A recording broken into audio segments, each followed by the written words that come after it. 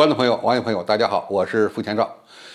最近，印度空军参谋长啊向新闻媒体爆料，他说，经过改装的印度空军现在装备的苏 -30 MKI 是吧，发现了中国的歼二零隐身战机。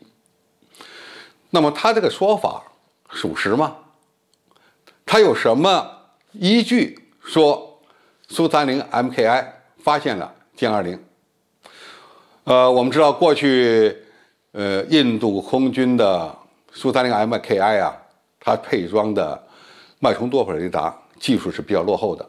一个是体积大，再一个呢，探测距离比较近，大概也就是一百多公里，是吧？这么一个范围。那么现在它对雷达进行了升级，当然升级的啊，呃，材料甚至是新的雷达，可能来自于俄罗斯。那么它的新的机载雷达对空中目标的探测距离有多远呢？号称是四百公里。那么四百公里指的什么目标？是大型的目标啊。那么像客机啊、运输机啊，甚至远程的战略轰炸机，你像美国的 B 五十二这样的大型战略轰炸机，那么又想用苏三零 MKI 啊，在三四百公里的范围内啊，搜索和发现它们，应该说也有可能做到。当然，这个四百公里的探测距离是吧？到底是真是假，现在还不好讲，是吧？就算是四百公里吧，啊，那么它对雷达反射截面比较小的轻型战斗机的探测距离，一般能够到多少呢？顶多也就是二百公里，要打个折扣的。那么对隐身目标。它的探测距离要进一步的缩减，啊，恐怕也就是个几十公里，啊，顶多了，是吧？那么在这样的一个情况下，我们的歼二零战机会跑到中印边境地区相应的进行活动吗？现在啊，没有确切的消息，啊，歼二零战机是可以上高原的，我们在高原地区呢已经去进行过相应的啊，呃，起降训练。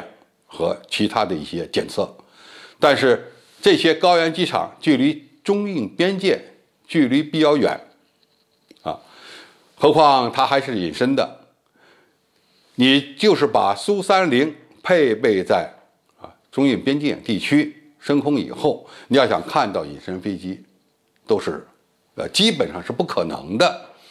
那么他这次号称是吧，发现了呃歼二零的行踪。那么这里呢，可能有这么几个问题，一个呢，是我们歼二零是吧，在巡逻过程中，是吧，接近了中印边境，这种情况有没有？现在不好说，啊？那么它即使发现了，那怎么发现的？歼二零在平常的训练中，往往在机体下面要装一个龙波透镜，也就是一个龙波球。那么这个龙波球。是吧？是干什么用的呢？是增大飞机的雷达反射截面的。因为隐身飞机在平时的训练中啊，由于它的隐身效果非常好，那么地面雷达很难对它进行跟踪和引导。在平常的训练过程中，特别是在本场或者是转场训练过程中，你很难掌握它的整个活动情况。那么有的时候，是吧？你的训练。就不能够以全隐身的状态出现，必须要把你的雷达反射截面要增大。那么龙波球或者龙波透镜，它的作用是吧？呃，就是要增大飞机的雷达反射截面，是吧？以便我们的引导系统或者雷达系统呢，能够及时掌握它的动向。啊，而且在某些模拟空战状态下，啊，歼二零呢也有可能是吧携带龙波透镜。那么在这样的情况下，呃，可以说在几百公里外，是吧？用地面雷达来搜索是有可能发现它的，但是这个不是真实作战所使用的情况。何况很多飞机都可以携带龙波球或者是龙波透镜，比如说一些无人机，是吧？无人机的呃作用。可以说多种多样。那么有些无人机呢，它是隐身的；因为天然隐身。但是为了让它模拟真实的大飞机，它往往需要携带龙波球飞到天上去以后呢，让地面的雷达或者空中的雷达啊看到它以后，会把它判断为一个大飞机啊。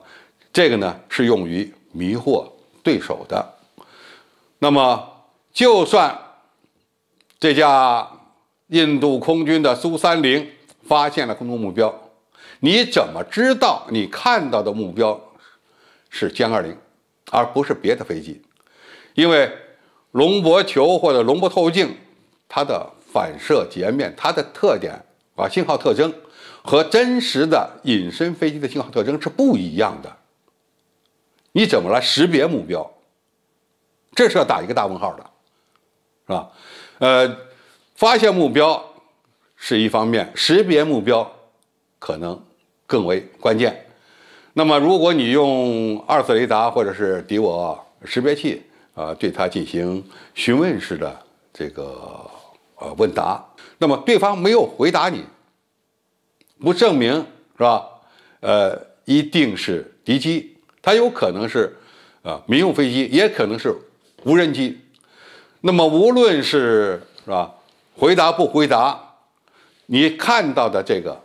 由龙波球或者龙波透镜是吧反射出来的呃雷达信号，你根本就无法判断它是什么样的空中目标。因此，印度空军参谋长的这种说法，可以说很多方面是不靠谱的，啊，呃，即使是看到了，也任何问题都说明不了。真正的未来空战是隐身飞机对非隐身飞机，那么。像苏三零这样的不隐身的战斗机，面对歼二零，应该说没有任何胜算。为什么印度空军参谋长对这个改装后的苏三零 MKI 有这么满满的信心，认为它能够发现空中的隐身战机呢？是因为这款飞机换装了比较先进的机载雷达，也是俄罗斯呃研发生产的。无源相对雷达，那么无源相对雷达和我们现在很多先进战机，包括歼二零、歼十六啊、歼十 C，他们所携带的有源相对雷达相比呢，技术层次还要低一档，啊，而且呢，它的可靠性、安全性以及探测距离是吧、探测精度啊，都要差不少。那么，即使是这么样一个。大飞机装了一款比较大的无源相控雷达，和中国的呃机载雷达，特别是战斗机所配备的机载雷达，应该说档次还差不少。不要说要和我们歼二零进行对抗，哪怕是中国的歼十六，啊，歼十 C，啊，它恐怕也没有胜算，因为歼十六、歼十 C 综合航电系统、雷达系统以及武器系统要比苏三零。先进的多，呃，在超视距空战状态下，是吧？不要说对阵歼二零了，是吧？即使是对阵我们的三代半战机歼十六和歼十 C，它都没有胜算。好，今天介绍就到这里，谢谢大家的收看。感兴趣的朋友，我们可以在下面的留言区留言交流讨论。我们下期再见。